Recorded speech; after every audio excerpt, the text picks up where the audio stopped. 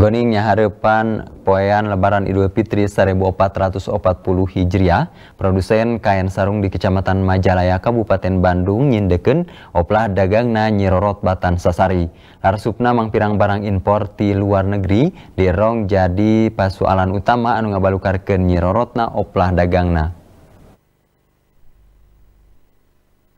Oplah kain sarung yang harapan poean Idul Fitri 1440 Hijriah di Kabupaten Bandung nyirorot secara drastis.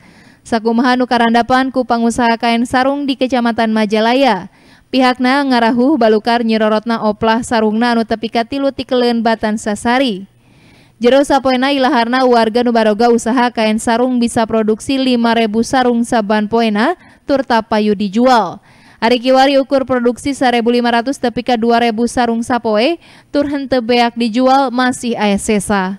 Eta pengusaha ngerong nyirorotna karep masyarakat anu marili sarung karandapan lantaran masyarakat boborot nalika pesta demokrasi 17 April anu geus kaliwat, pikeun nyumponan kabutuh pemilu kawas-kawas caleg tur alat peraga kampanye sejena.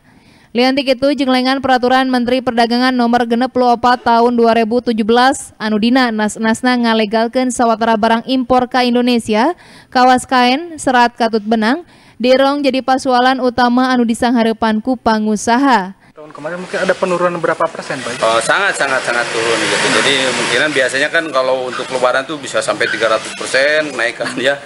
Untuk sekarang mah ah, ya seperti biasa aja, seperti bulan-bulan biasa untuk penjualan gitu. Barang-barang juga numpuk ini Pak? Barang-barang uh, ya jadi kita itu terbentur dengan istilahnya banyak produk-produk impor yang masuk hmm. uh, ke negara kita dengan mudahnya. Sakumna pengusaha miharap pemerintah bisa sagancangna ngarevisi peraturan perdagangan nomor genep 24 tahun 2017 anu ngabebaskan barang impor asup ke Indonesia boh barang setengah jadi boh barang jadi dumeh dirong ngarugikan warga nu baroga usaha letik.